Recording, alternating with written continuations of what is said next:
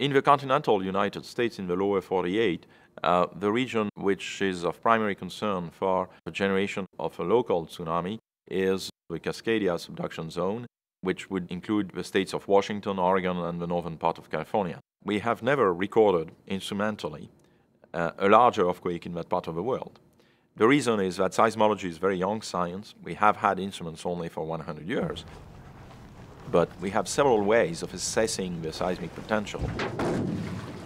One of them is geological fieldwork. I first came out here in the spring of 1986. At that point, the very idea of, of very big earthquakes here was controversial to say the least among our scientists.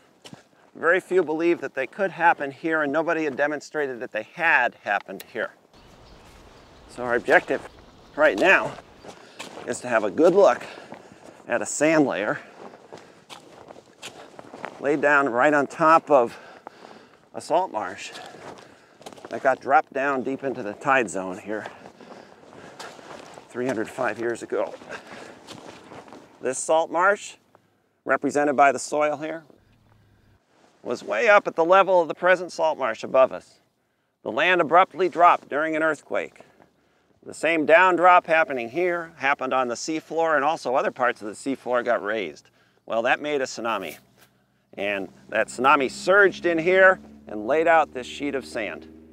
Now, after that was all done, then the tides were free to come in because the land had dropped.